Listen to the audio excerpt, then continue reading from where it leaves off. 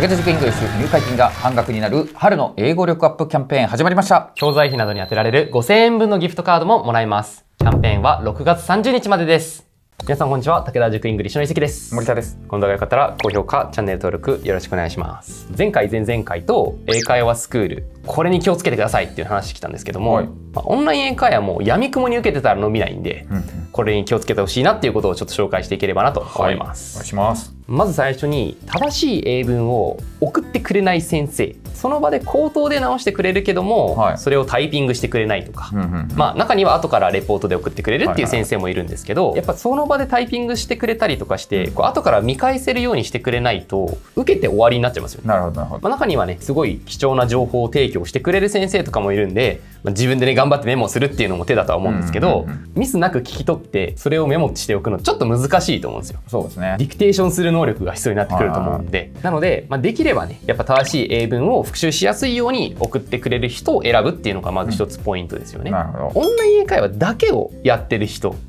はなかなか上達しないんじゃないかなというふうに思ってます。オンライン英会話をしつつ英語の実力を上げている人って自学自習してると思うんですよ。実際にオンライン英会話でアウトプットした後にこれダメだったな言えなかったなっていう表現をまとめておいて次のレッスンまでにちゃんと復習していくとか、オンライン英会話と別にまあ英検なり TOEFL、IELTS とか目標があってそのための勉強も並行している人とかですね。は伸びていくと思うんですけどオンライン英会話だけやってれば伸びるっていうもんじゃないと思うんで、うんまあただ単にね楽しく話しているだけではなかなか上達しないんじゃないかなというところですね。ネイティブだから教え方うまいでしょうっていうふうに思う人も中にはいると思うんですけど、どうですか？いろいろな人と話してきて。絶対ないですそんなこと。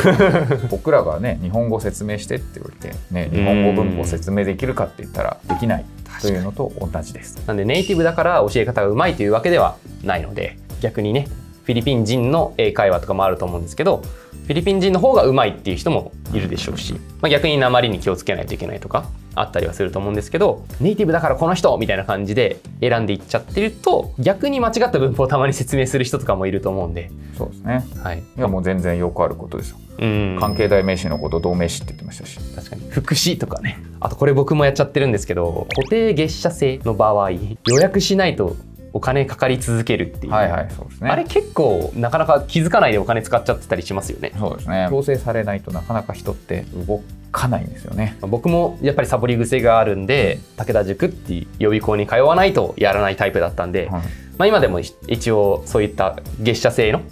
オンライン英会話登録してるんですけど、やらないっすあ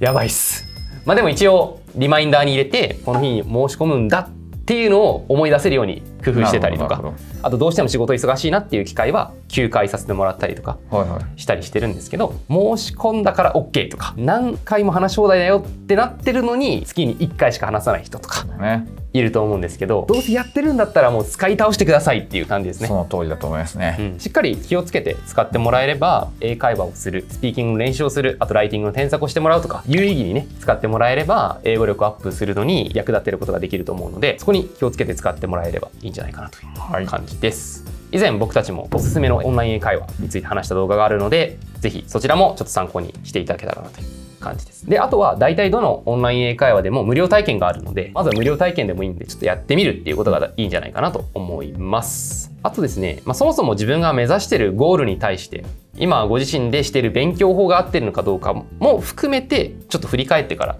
この動画を見た方はね次に進んでいってほしいなと思ってましてオンライン英会話をやるべき時期なのかどうかっていうのもあると思うんで、そこもねちょっとわからんなって悩んでる方とかがいましたらぜひ一度無料カウンセリングであの現状把握っていうところ目標設定とかからしてみてはいかがかなと思うんで、まあ、概要欄にリンク貼ってあると思うんでそちらもよかったらご覧ください。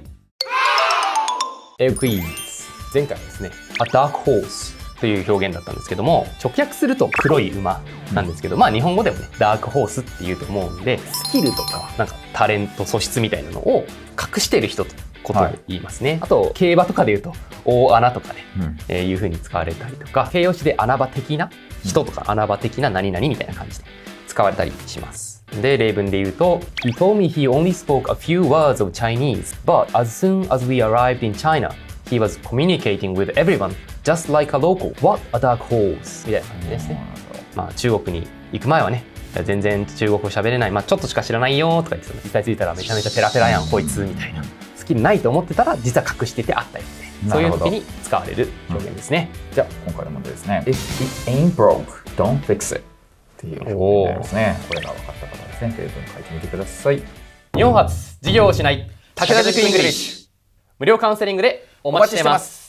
このチャンネルでは英語学習に役立つ情報を日々更新しています。TOEIC 英検英語の学び直しに役立つ情報を配信しておりますのでぜひチャンネル登録よろしくお願いします。僕たちに質問がある方はぜひぜひコメント欄に書いてください。Leave comments below